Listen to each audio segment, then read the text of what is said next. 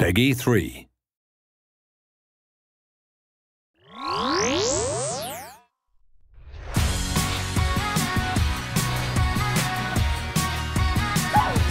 Time to hit the road and save some pucks. Take one look at us and you'll see we belong together.